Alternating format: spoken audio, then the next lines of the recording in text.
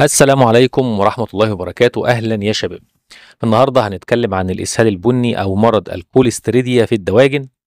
المرض اللي ما زلنا لم نستطيع وتقريبا لن نستطيع التخلص منه. حتى لما اخترعنا البطاريات قدرنا نتخلص من الكوكسيديا وما قدرناش نتخلص من الكوليستريديا. طيب الكوليستريديا باختصار بكتيريا لا هوائية تعيش داخل أمعاء الطيور. يعني هي موجودة بالفعل. لكن لما المناعة بتقل أو بيحصل إجهاد على الفراخ هي بتجد فرصة إن هي تنشط.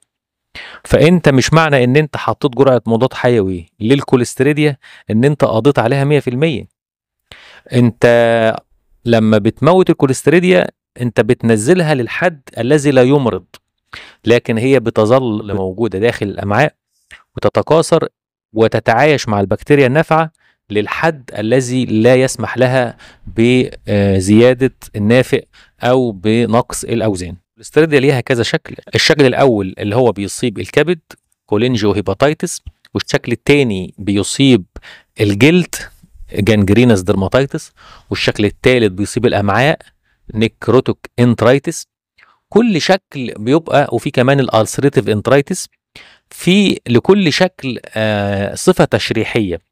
هنزل لحضرتك صور آه التشريح على الشاشة آه لكن في شكل بقى بنسميه botulism اللي هو ال Clostridium botulinum النوع ده من البكتيريا بتفرز سموم فالشكل الظاهري ليها مميز وكلنا يمكن أكيد شفناه.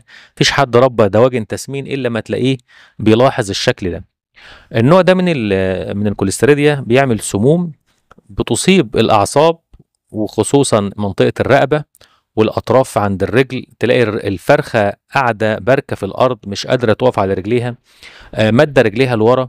رقبتها بترعش يعني مادة رقبتها لقدام سايحة قبل ما تموت بلغة المربيين الفرخة سايحة. آه، تيجي تحطها بره في الهواء خلاص انت اعتقدت انها بتموت. تيجي تشيل الفرخة دي وتحطها في الهواء نص ساعة تلاقيها فاقت. قال طب إيه اللي حصل؟ وليه بتفوق مع زيادة الأكسجين؟ ما ده اللي أنا قلته في الأول إن الكوليستريديا بكتيريا لا هوائية. فإذا تعرض ال- الفرخ للأكسجين يقل نشاطها. طيب ده الشكل اللي هو كلنا ممكن نشوفه في المزارع. الشكل التاني اللي هو ال ulcerative enteritis شكل تشريحي هيبان لحضرتك على الشاشة. ulcerative enteritis عبارة عن قرح كده بتصيب الأمعاء. الشكل الثالث اللي هو ال necrotic enteritis برضه بيعمل تهتك في جدار الأمعاء وبيقلل من معدل التحويل وبيسبب برضه إسهال بني. الشكل ال- الرابع gangrenous dermatitis وفي ناس كتيرة مش واخدة بالها من إن دي كوليستريديا بيصيب منطقة الجناح ومنطقة ال- الراس والجلد عامة.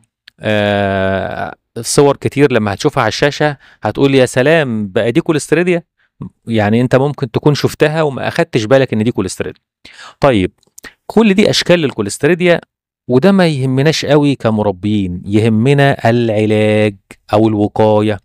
الوقاية هو إن حضرتك تقلل على قد ما تقدر الكوكسيديا والرطوبة في الفرشة وتزود التهوية على قد ما تقدر وما تعرضش الفراخ للإجهاد خصوصا الإجهاد الحراري. يعني دايما الإجهاد الحراري يتبعه كوليستريديا. أي إصابة فيروسية طبعا المناعة بتضعف وبالتالي مناعة ضعفت يبقى البكتيريا بتنشط. بنسمي بنسمي النشاط البكتيري بعد الإصابة الفيروسيه ال secondary bacterial infection الإصابة البكتيرية الثانويه بتيجي دايما بعد الإصابة الفيروسية. لو تتذكروا كنت قلت لحضراتكم قبل كده المناعة بتقي من البكتيريا لكن لا تقي من الفيروسات. اللي بيقي من الفيروسات هي التحصينات.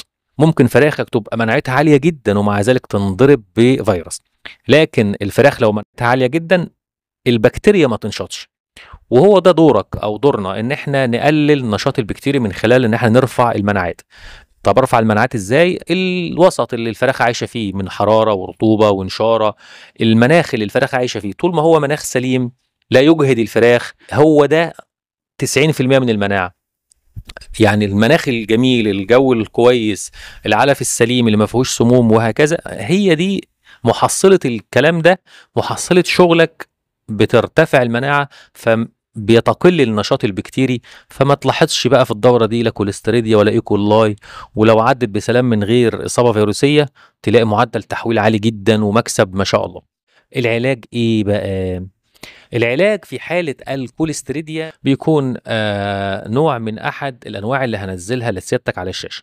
الأمبيسلين آه على رأسهم هو والأموكسي لينكوميسين شغال.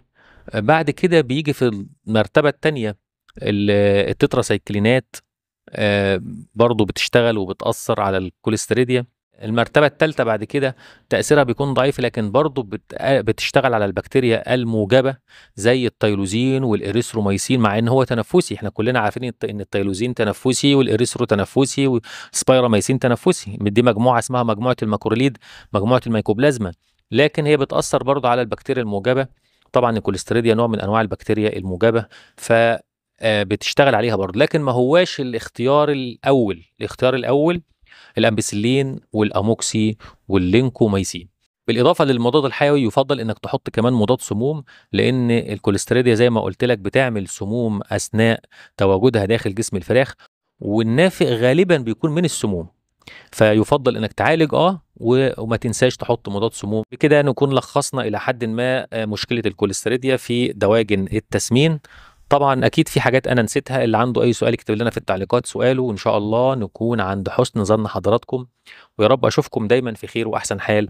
كان معكم سامح عسل والسلام عليكم ورحمة الله وبركاته.